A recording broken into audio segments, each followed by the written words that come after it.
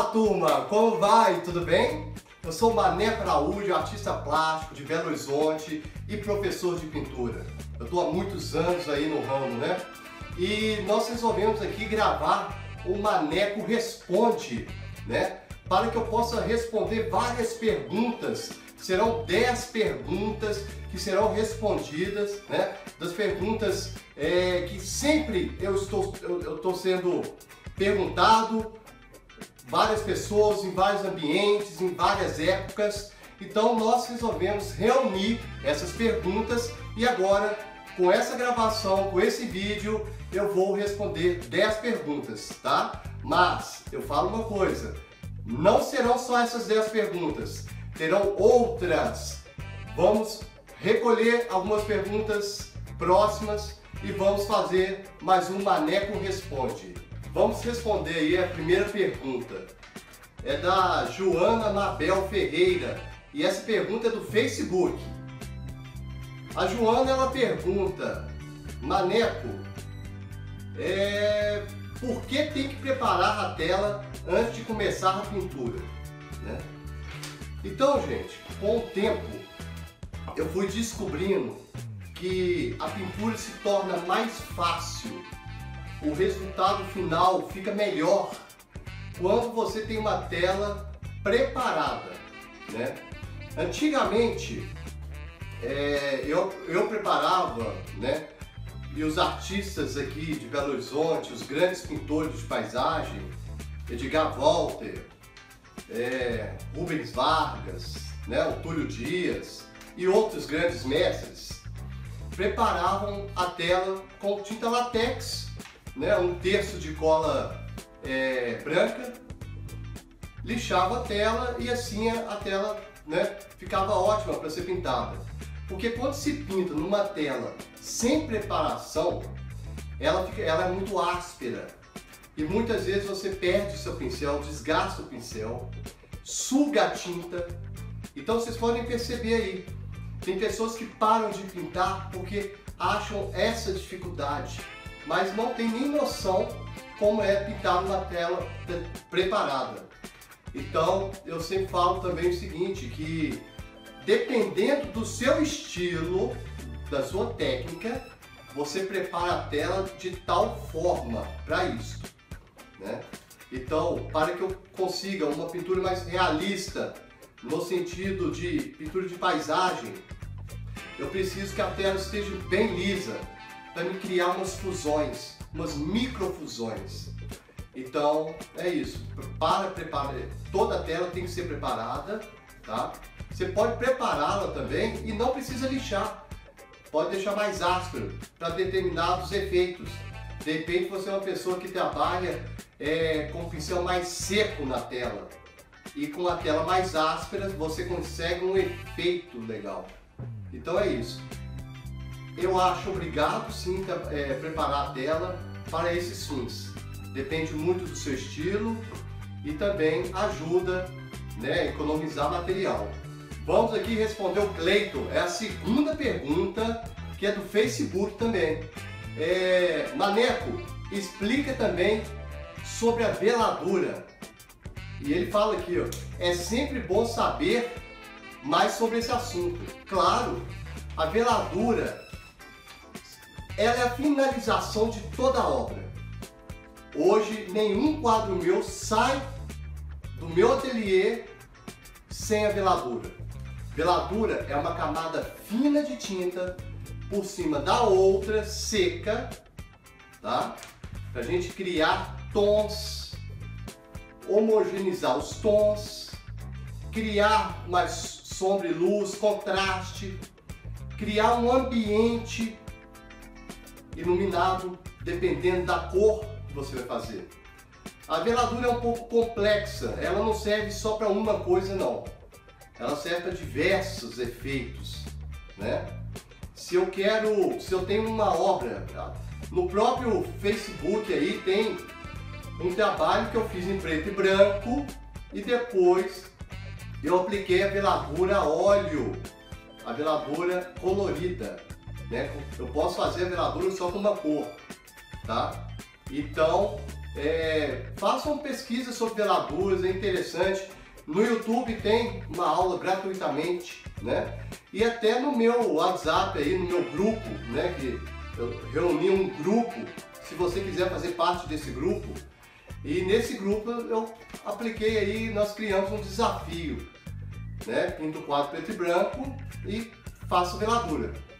Então a veladura é isso, é uma camada fina de tinta por cima de outra para colocar com, um obje com vários objetivos. Mas um desses objetivos é aplicar o objeto no ambiente. Exemplo, se eu tenho uma sala, tem um vaso e tem uma sala, né? E essa sala tem uma cortina azulada. O sol passa por ela e afeta todo o ambiente. O ambiente ficará azulado.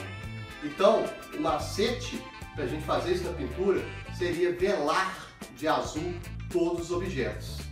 Tá? Isso é um, dos detalhes, mas tem muita coisa aí na veladura. Terceira pergunta, do Facebook também. É do José Benedito do Amaral. Na sua opinião, mestre, para o esboço na tela, qual o melhor método e material mais adequado para riscar? José Benedito e toda a turma. É relativo demais essa pergunta, porque podemos fazer o esboço com qualquer material, sendo que esse material ele não pode ficar tão fixado na tela e prejudicar a pintura em cima, tá? Uma das coisas que acontece muito é pessoas que pintam, né, que não tratam a tela, deixam a tela branca, risca com carvão e faz vários riscos e depois vai pintar em cima. Mancha, fica difícil tampar. Depois a pessoa tem que voltar, né? Dar mais uma, duas, três, quatro camadas até tirar aquele borrão preto. Então eu consegui desenvolver, desenvolver essa outra técnica com giz, né? aquele giz de quadro.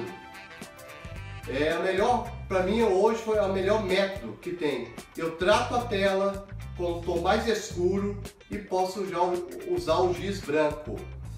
Fica a melhor coisa. E outra coisa, riscar a tela ou o esboço da tela, muitas pessoas falam riscar e outros esboço.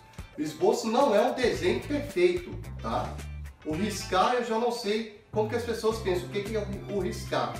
Existe o esboço e existe o desenho. O desenho é mais perfeito, o esboço não, ok?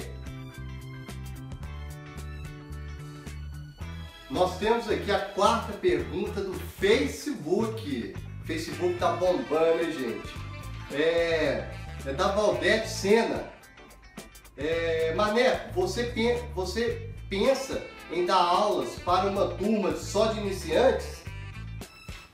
Valdete, é, eu sempre dei aulas para iniciante.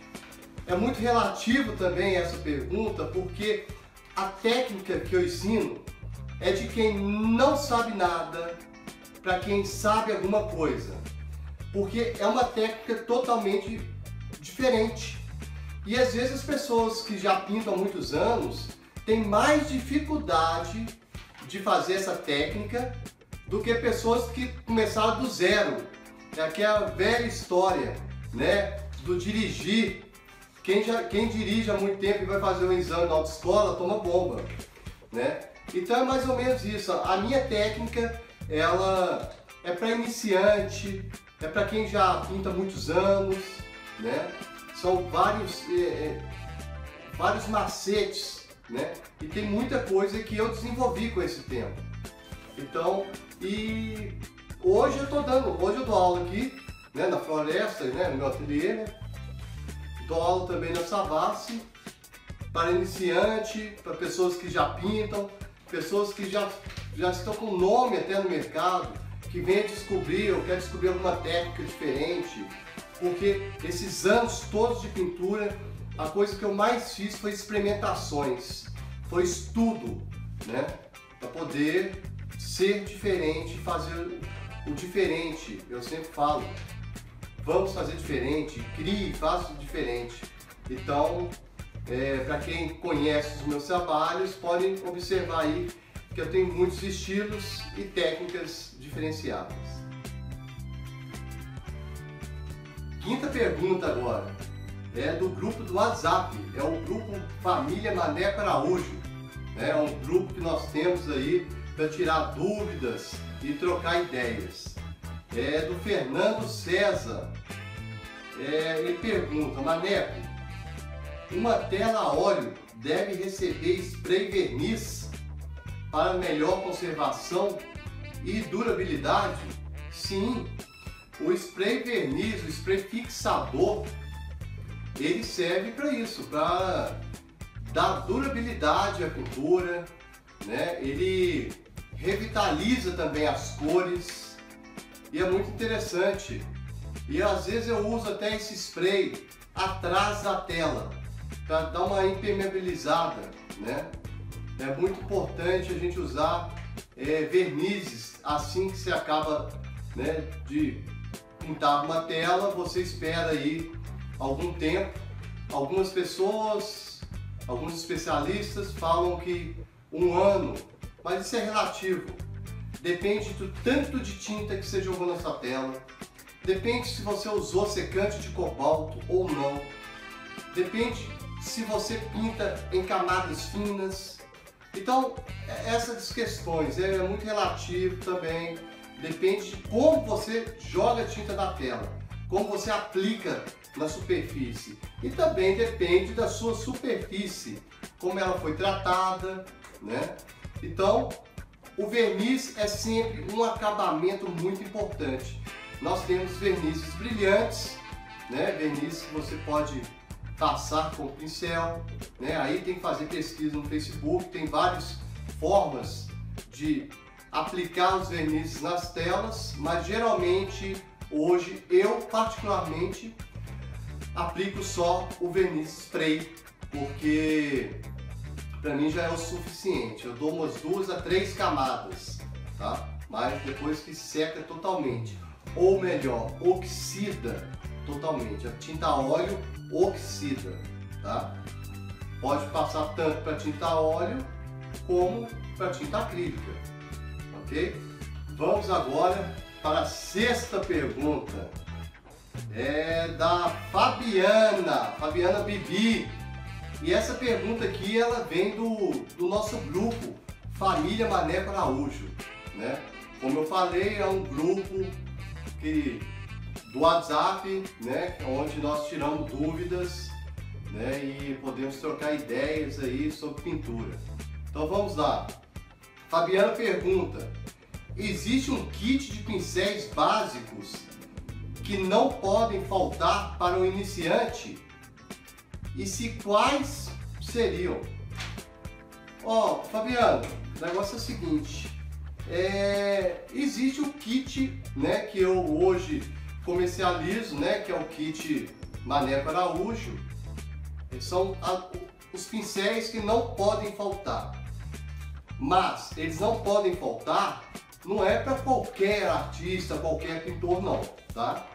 Geralmente, quem gosta do meu estilo e segue os meus trabalhos e conhece mais profundamente as minhas pinceladas, é, vão saber que esses pincéis que hoje eu comercializo, né, são eles que ajudam nas pinceladas. Porque não adianta eu ensinar um tipo de pincelada né? E você está usando um outro material, porque não vai se criar o mesmo efeito. Trabalhamos, né, rosas ou vegetações com esse pincel, falam que é língua de gato, né? Que é um pincel apropriado para muitos efeitos. Então, a forma que eu aperto o pincel, a forma que eu movimento, às vezes só este pincel nós conseguimos esse efeito.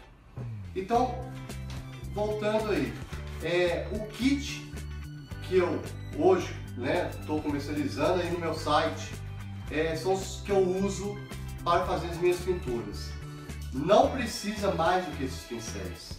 nós temos este aqui, filamento longo, né, que é o 440, ótimo, para linhas finas, para galhos e etc. E assim nos meus DVDs eu estou explicando também, ensinando, né, no YouTube tem muito é, a forma que eu uso esses pincéis, tá? Algumas cores mudaram, mas os pincéis são os mesmos, tá? A Tigre mudou os, algumas cores, mas os pincéis são sempre os mesmos, tá? Então vou estar tá passando aí para vocês.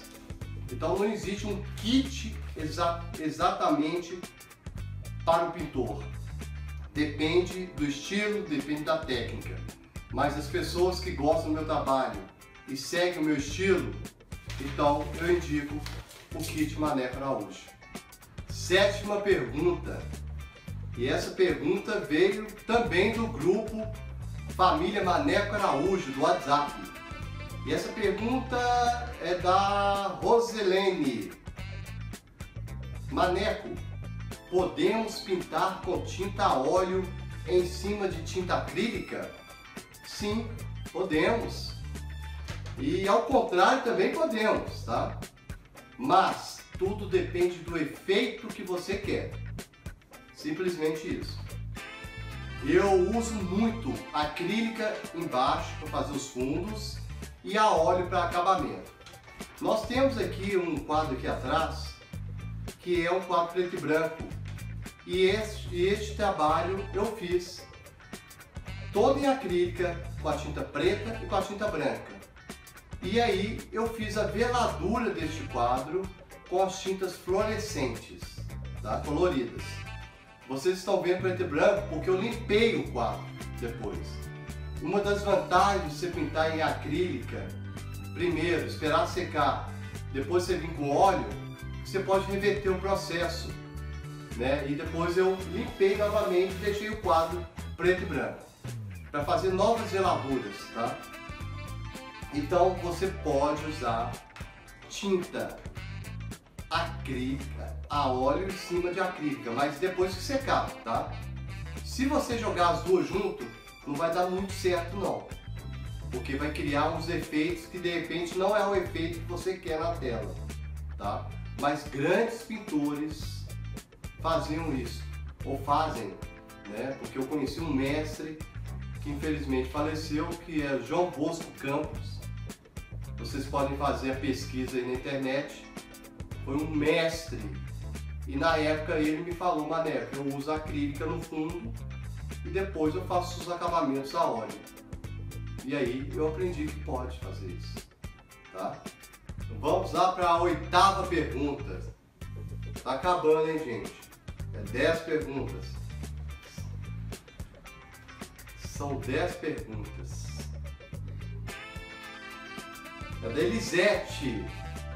Maneco, você disse que para preparar a tela tem que ser com gesso acrílico. Mas eu não tinha gesso acrílico e preparei a minha tela com massa corrida, com cola. Pode fazer isso? Pode. Você pode tudo. Mas só que é o seguinte, se nós temos hoje o gesso acrílico, quimicamente falando, ele é apropriado para tratar uma tela, para fazer base né, em objetos, etc. A massa acrílica, muita gente usou massa acrílica ou usa até hoje, só que tem um grande risco de rachar com o tempo, né? E também a massa acrílica ela suga muito óleo e fica um pouco difícil de trabalhar. Mas pode, você pode pegar a massa acrílica, aplicar lá um pouco de cola para impermeabilizar um pouco, mas eu, eu não aconselho. Se puder comprar um gesso acrílico da cor fix, eu vou enfatizar cor fix, porque para mim foi o melhor gesso até hoje, tá? O gesso acrílico é, tá lá no, na, no YouTube, no meu canal, eu ensinando a preparar uma tela. Então, vamos lá, vamos trabalhar com gesso acrílico que é melhor, tá? Vamos lá para a nona pergunta. É, é do grupo Família Mané Araújo, é o grupo do WhatsApp. É do Vânio, grande Vânio. É, admiro muitos pintores e tenho sempre, tento sempre pegar algo de suas obras. E ele está perguntando aqui, gente, é vantajoso unir vários estilos e técnicas diferentes? Sim, sempre é, agregar técnicas e estilos diferentes, entendeu? É super, super válido. Mas temos que tomar cuidado, né? Porque temos que, muitas vezes, você praticar um, uma técnica, entendeu? Amadurecer naquela técnica, depois pegar uma outra, amadurecer na outra, como técnica ou estilo também, né? Amadurecendo em cada técnica e estilo. E depois você vai mesclando automaticamente aquilo tudo, né? Porque muitas pessoas ouvem um professor falar uma coisa, depois ouve o outro professor falar, ouve outro e fica com muitas informações, né, atravessadas e não consegue desenvolver algo por ficar perdido com tanta informação, né? É o que está acontecendo hoje é, nos nossos tempos. Estamos com muita informação, pouca prática e aí você não consegue desenvolver algo legal. Então tenta captar uma coisa e desenvolver aquilo. Porque o que tem de gente ensinando e o que tem de gente que acha que sabe e tenta passar algo que nem ele mesmo tentou. Então, fica aí a dica. É, amadureça cada estilo ou técnica e depois vai desenvolvendo a sua. Tem que tomar muito cuidado. Chegamos aí à última pergunta do Maneco Responde. E essa pergunta aí vem do grupo da família Maneco Araújo. É um grupo do WhatsApp. E a pergunta é da Marileia Rosa. Marileia pergunta, Maneco, gostaria de saber por que, que uma tela mofa e a outra não, sendo que elas estão no mesmo ambiente. Né? Mesmo estão no mesmo ambiente. E, e tem como tirar mofo? Olha só, é... mofo em tela depende também de como essa tela foi tratada, porque tem muitas, tem muitas formas de tratamento de uma tela, né? O fornecedor, geralmente os fornecedores, eles já tratam a tela com um antimofo, né? Mas não adianta, se a tela estiver no ambiente muito úmido, ela vai possivelmente criar mofos né? E a questão, você falou que tem duas telas no mesmo ambiente e uma mofou e a outra não, isso é muito estranho, porque pode ser que uma tela não foi bem tratada com antimofo e a outra tela tem um antimofo. Ou pode ser também que uma tela já esteja há muito tempo no local mais úmido às vezes na própria parede tem uma parte que é mais úmida do que a outra. Então tem que verificar isso. Né? Geralmente para tirar mofo, nós temos aí, é, eu uso água sanitária, mas eu passo um pouco só atrás, né? porque ela mata o mofo. Só que depende do grau que esse mofo tá. Tem mofo que já está há muito tempo e às vezes nem se pintando por cima ele vai sair. Então tem que ver qual seria o grau, entendeu? Do mofo, o, o estágio dele, tá? Então essa questão aí pode passar também um pano úmido com, com detergente leve para tirar. Né? Então é, isso, é, isso é muito difícil de responder, porque cada tela ela está num, num, num, período né, de mofo. O mofo pode estar bem mais longo como iniciando. Se estiver iniciando é só passar um, um pano úmido mesmo, um pouquinho de, de até álcool, mas é pouca coisa. Né? E outra coisa, se a tela estragar, você repinta. Né? Aprende a restaurar, tá? Então é isso mesmo, gente. Obrigado. É, agradeço aí mais esta aí, né, essas 10 perguntas. E vamos aí com o próximo Maneco Responde. No final aí do Maneco Responde, é o primeiro vídeo do Maneco Responde. Respondi 10 perguntas para vocês aí tirar as dúvidas, né? E muito obrigado a todos vocês. Eu gostaria também, se você não está no meu canal do YouTube, aqui ó, aqui embaixo ó, entendeu? Adicione, comente, é, faça perguntas também. Nós vamos te responder, vamos colocar no Maneco Responde. Você também pode é, entrar no meu WhatsApp, porque lá nós temos um grupo, temos desconto, temos é, algumas perguntas respondidas por lá, temos, é, trocamos ideias, muito interessante, vale a pena. Né? Nós temos no YouTube o canal, que eu gostaria que você se inscrevesse lá, né? Estamos sempre aí, vocês podem observar aí, ó, né? o, o canal do YouTube, Anote aí. O endereço do WhatsApp. Anotou? Ok. Então, obrigado a todos vocês aí, né? Por mais uma, mais um vídeo, né? É, Maneco Araújo responde e até a próxima. Ô, gente, eu esqueci uma coisa visite minha página www.manecoaraújo.com.br ok? Lá eu tenho DVDs aula, aula via Vimeo e muito mais. E agora os kits, tá? Pincéis Maneco Araújo. Vai estar à venda agora. Obrigado! Primeira pergunta é da Joana Mabel Ferreira. É, a pergunta de veladura, eu não sei por que, as pessoas ainda não conhecem.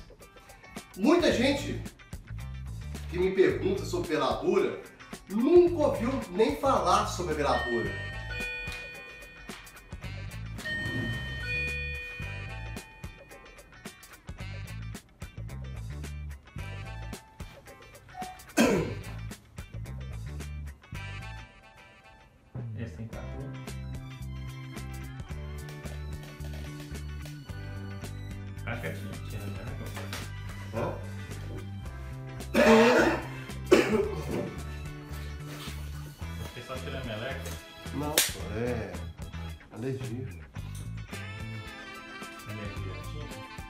Sei não, é porque eu tô gripado. Né? Vai lá. Pelo. Pelos. Minha pelo deve ter, né? Que você tem gato, cachorro. Essa luz vai ficar no meu olho, assim, né? Vai. Não, tudo bem. É só você. você não... É até bom ficar bem iluminado, que. É. Aqui um minutinho pra cá. tá ligado pior, né? Então, beleza, ó. Então, vamos lá.